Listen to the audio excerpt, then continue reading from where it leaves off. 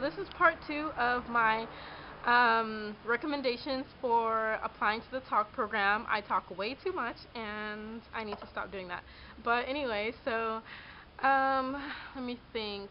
So I, I left off with talking about the essay portion. Um, yeah, I pretty much talked about my experience um, with my education and how long it took me and it's taking me and how I've continued to push on trying to get through it.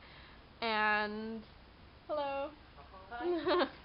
and I also wrote about um, teaching in Costa Rica and two weeks of just how that experience was for me. And what else did I write about? Mm, I can't remember. Uh, I also wrote about, there was something else. Mm, I can't remember, but anyway, um, I'll go back to the interview. Um, they asked me if I will have any eating um, necessities, like specific things that uh, allergies or anything. So I told him I was vegetarian. He was like, "Are you strict?" And I was like, "No." And then he was like, "Good, because it's very difficult." And I was like, "Oh, it's fine." And it actually is difficult for me, but now that I am cooking, it's a lot easier. So, um, I told him it wouldn't be a problem, and now it is not a problem because I'm cooking. Um, so be open to cooking if you're a vegetarian. Um, what else? Let's see, expect once you apply to um, not get a response for at least two weeks. Also, after your interview, um, usually um, after two, between within two weeks of submitting your application, you will receive um, a call or an email from someone from the TaLK program in your area where you submitted your application to, and they will um, set up a interview and that interview will usually be within a week of them calling you. Also, after the interview is the longest wait time that you'll have through the TaLK program. Um, usually you won't be notified um, that you're in until like two weeks before your flight. Um, some people seriously waited forever, and I know some people who there was the flight deadline where you had to be in Korea um, by a certain date in order to be at the orientation. Some people didn't get their flight information till like that day or something like that. That was probably the only the worst thing that I've heard from the TaLK program that they like waited so long, but I don't know if that might be because they were I don't know what was going on. Maybe there was like some sort of mix up or something with the tickets or like delay. I don't know.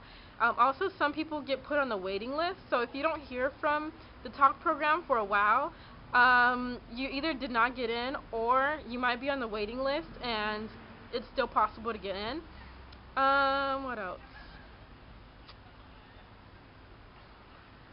There were a couple more things. I just wish I could remember what else I wrote in my essay. Because I cannot remember right now. Um...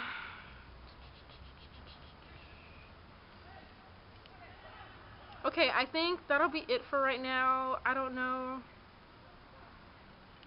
Um, pretty much for your essay, write about yourself. Be yourself in your essay.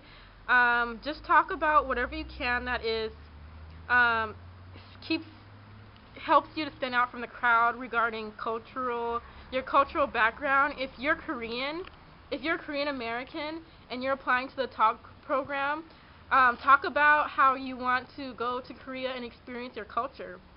And um, maybe you have family in Korea and you want to um, experience the culture and uh, allow them to um, help you experience the culture and everything um, with your background. So there's a lot that you can write about in your essay. You can just make it yours pretty much. Um, just talk about whatever you can that shows who you are and your interest in Korea and teaching in Korea.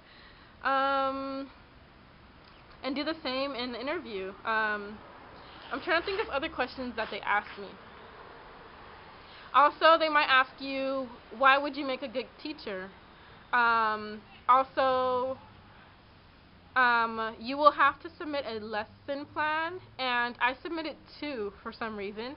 Um, for the lesson plan, you want to incorporate things like reading, writing, listening, and speaking into the lesson because you want to incorporate all of those different things um, and it makes it more um, it gives it more variety and it it um it adds all of the different skills the learning skills and um, so yeah so incorporate all of that um, you can google lesson plan basic lesson plans um, it's very simple um, shouldn't take too long. It, I seriously just typed up something really quick from my TESOL when I got my TESOL certificate. Um, I looked up one of the lesson plans that they had as an example, kind of tweaked it and made it my own and then submitted it. So it was really simple for me and it can be simple for you too. Also, trying to think. Hmm. I seriously, when I applied, I did not think I was going to get in. I was shocked when I got in. So, if you're afraid that you're not going to get in, just apply. I mean, what worse can you do than not get in, you know? It's always worth the risk. And, um, oh, I keep thinking of things and then they go away. Um, also, there are a lot of different things that you need to submit after you have your interview. So first, you submit your application. Then you get a call back to have an interview. After your interview, there are like 5 million things that you need to submit and then they you su submit it to the TaLK office that you had your interview at and then they send it to Korea to be um, reviewed. So that's why the wait is so long because it's not that the TaLK office that you interviewed at is not sure if you're getting in. It's because they have to review all of your documents that are sent to Korea. They're sent to Korea and they review everything. So that's why the process is so long. So pretty much you have to submit a background check, which has to be apostilled, which I think that's the right pronunciation. Um, and you have to submit a, what else do you have to submit? I'm very forgetful. You have to submit two two um, letters of recommendations. My letters of recommendation were from my current job, which was the job that I recently left um, to come to Korea, and one from my pastor from my church. Um, at the interview, I was told that I could use those two, and that's what I did. Um, what's also recommended, which would be even better, is if you use a recommendation. If you have any um, teaching experience, use um, that as a recommendation letter. So request them to make a letter for you because that looks even better. But the church and my current job worked well for me. So yeah, you can use that. Also, letter recommendation, background check. You have to submit a lesson plan and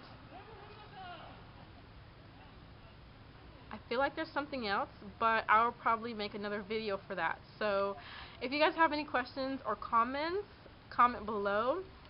Um, and I will try and make another video soon. So, because I, I always get questions. But I have another video coming up, and it's pretty much um, what my week is like, my average week um, teaching. So, yeah. I will make a video about that. Okay? I will see you guys later, and I hope I answered some of your questions. Bye!